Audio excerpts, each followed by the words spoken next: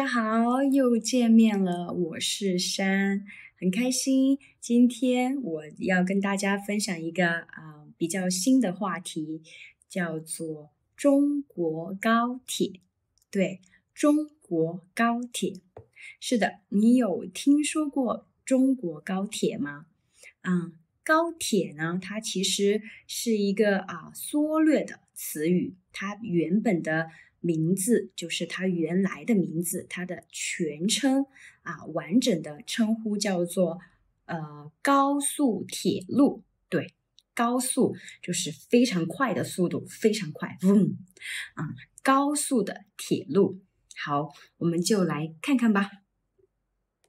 好看一下这个，对，这个就是高铁，高铁的列车，是的。啊，近几年中国的高铁发展的非常快，啊，那到目前为止我能查到的查到的信息显示，中国高铁现在运营的啊长度，我们可以叫做叫做里程，嗯，大概是四千不对，四万两千公里，对，这个叫公里，也可以叫做千米，对。四万两千千米，这个是整个中国的高铁运营的里程数。那么，呃，高铁呢？为什么它叫高铁？是因为它的速度真的很快。我们呃，我也查了一下关于它的速度，嗯，平均的速度大概是三百千米每小时，这个叫做时速。就是每小时它可以它可以行驶的距离叫做时速，很好啊。那大家现在对这个高铁有一定的啊概念了吧？好，那么呃，我接下来会带着大家去看一看，就是中国高铁的发展过程。对，从最开始到现在都呃经历了哪一些过程呢？一起来看吧。好，我们看一下啊，第一条第一条高速铁路是在二零零三年的十月十一号，然后是在中国的东东边，这个是东北方向东北地区通的一条高铁，那么它的呃时速就是对这个数字，是的。这是第一条，第一条开通的高铁，呃，这个是两百五十公里每小时。好，接着，嗯，那下一次就是第二条高铁通车的时间是在啊这里。对，这个是，嗯，这个是二零零八年四月份通的，嗯，它的位置也是在啊。东边对中国的东边，靠近东部的地区，这个是它的时速，时速也非常快。好，这个就是第二条。那我们接下来，嗯，在二零零八年就还有其他的两条高铁通车，啊，第三条是在看，这个是东边，这个是北边，对吗？也是东北方向，嗯，它是零呃零八年二零零八年的八月一号通行的，对，这个是它的时速啊。接下来第四条，对，第四条也是在这个方向，嗯，是在零八年的十二月份通车的，这是它的时速，对，这个就是。啊，零八年零二零零八年通的几条高铁，对，那时间接着来到了二零零九年，二零零九年啊，第五条，对，这个是第五条中国高铁，是在中国的，对，也是在东南方啊东北方向，这个是它的那个时速。好，接下来这一条也是二零零九年通车的，啊，它的方向就是在啊东南方向，对，这是它的时速。好，我们刚刚就讲了啊，从二零零三年到啊这里二零零九年，中国通车的高铁的路线，对吗？好，呃，接下来我们来看一下这个，对，这个是也是二零零九年九月份通车的高铁路线。啊，那我为什么要打一个星号呢？是因为这条线路是我的城市，对，我的城市跟我们城市，呃，我们这里旁边的一个城市，对，成都啊，重庆到成都之间的高铁，对，我们因为离得很近，所以啊，这个是重庆到成都，成都到重庆的高铁。在二零零九年的时候通车了。好，呃，在没有通车呃之前呢，啊，高铁没有通车之前，我们如果坐同样的火车从重庆到成都的话，大概需要四个小时，四个多小时啊，看，四个小时，对。好，那么现在就是之通了之后呢，时间缩短到一个小时到两个小时之间，就啊不同的对不同的这个列车，它的时间有一点点不一样啊，但是都非常的快，已经比以前没有通车的时候快了一倍，对吗？一倍多。好，嗯，看这里。啊，一个小时，这个是非常快，呃，有时候就上车之后坐下来没有多久就已经到站了，嗯，那我过年的时候就是春节期间也去坐这个动车去成都，从重庆去成都玩了，这个非常的方便和快捷，对，这个就是啊我的家乡重庆。通的这个高铁是在二零零九年通的高铁。好，呃，那这个就是呃所有的关于呃通车的一些情况。那么在这一条之后呢，中国又陆陆续续的通了很多很多很多条高铁的路线。好，那么啊，现在在中国。一共有十九条高铁的路线，对，十九条啊。这个十九条呢，它是这个样子的。比如从 A 点到 B 点，我们这样走下来，对吗？就会连接到 A 和 B 两个城市。那么在途中，在途中又会有很多城市可以停靠，所以高铁就。把很多城市连在了一起。那呃，我查到的信息是，现在在中国有一百一十八个城市和地方和地区都通了高铁，是不是非常的棒？那高铁通车之后呢，啊，就非常的方便，大家出行就的频率也有上升。对我们普通人来说是一件非常好的事情。好，嗯，那这个是关于高铁的一些数据。那我接下来要跟大家分享一下，就是关于高铁这个本身的一些啊特点，或者是呃说是一些设备。对，好，我们现在开始吧。好，我们先来看一下这个高铁的外形。对，这个是高铁的样子，它的头是这种尖的，对，它的头部是尖的，线条非常的流畅。对，它不是这种以前的那种，可能是方的，有一些这种这种，但是高铁这个呃列车的头就是很流畅的。因为啊，流畅的线条可以就是在速度方面可以更快，对吗？就是前进的时候，嗡，会更快，更有利于加速。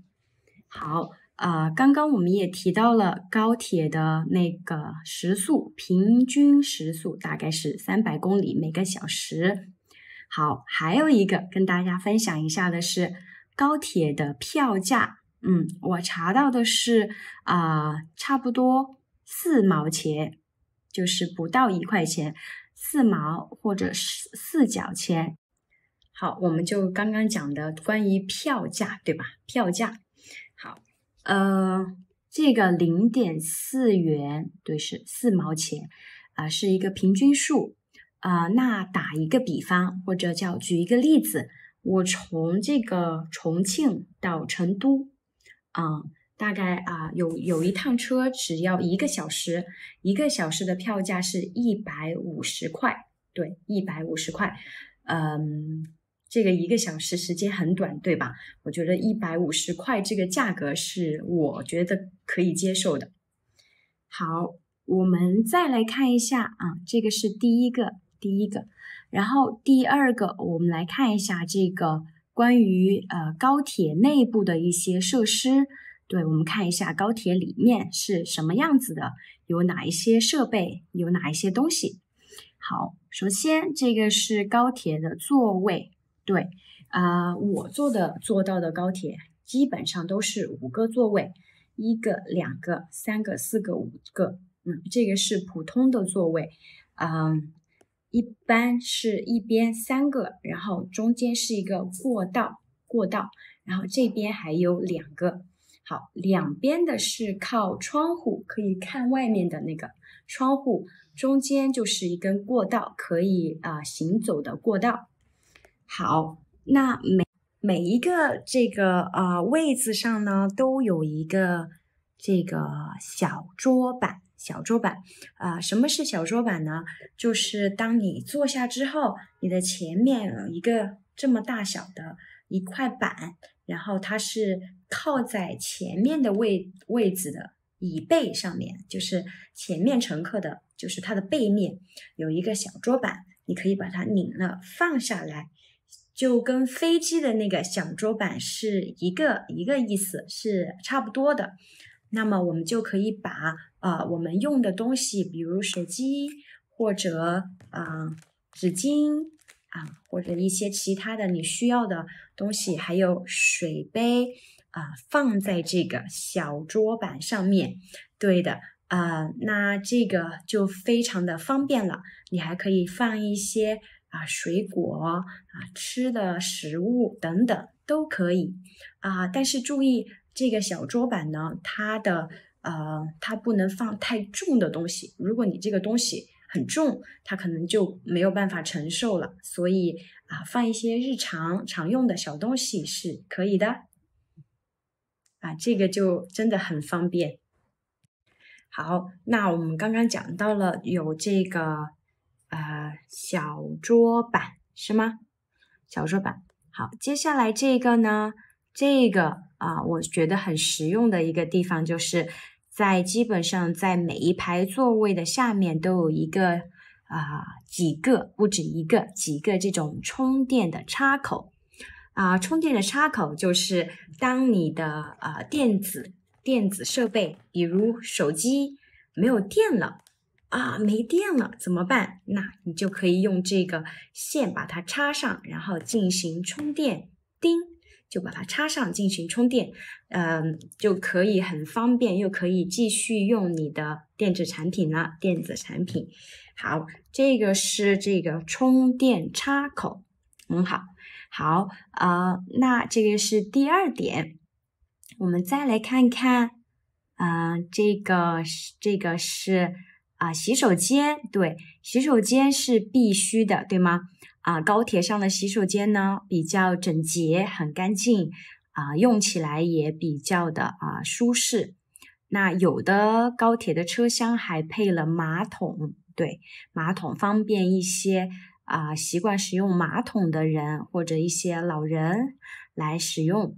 还有这个是啊，中国人比较习惯用的蹲便的。啊，蹲便池，好，这个是洗手间啊。那除了洗手间，还有就是啊，在高铁上有餐厅，对，可以吃饭，吃饭的地方叫餐厅啊。除了去餐厅这个车厢吃饭呢，我们还可以在手机上来预定预定这个吃的食物啊。比如我想预定一个啊午餐啊几点的。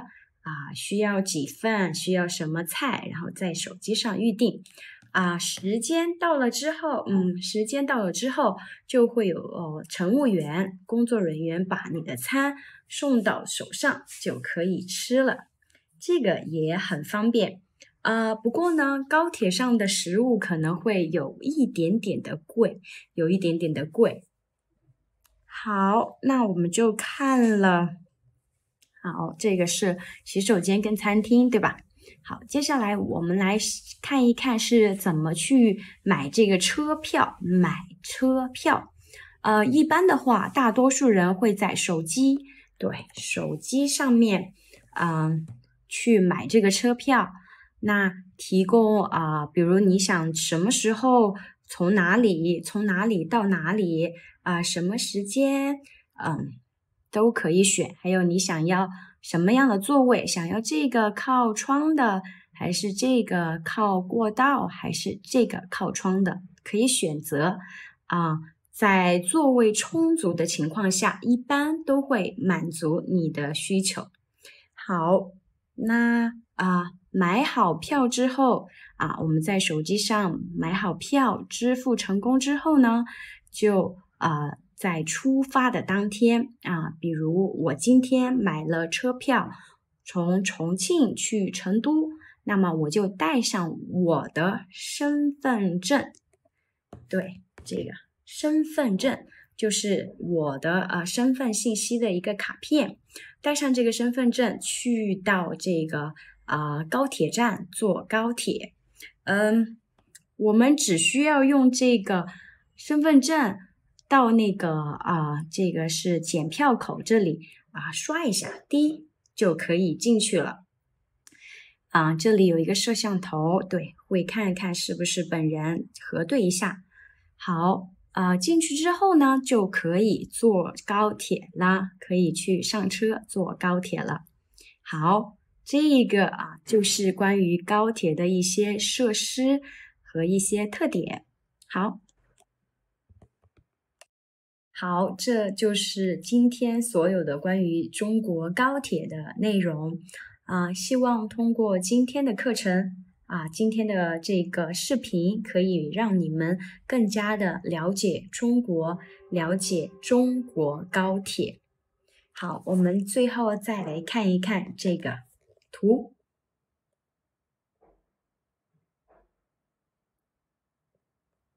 好，那么我们就相约下一次视频再见吧，拜拜。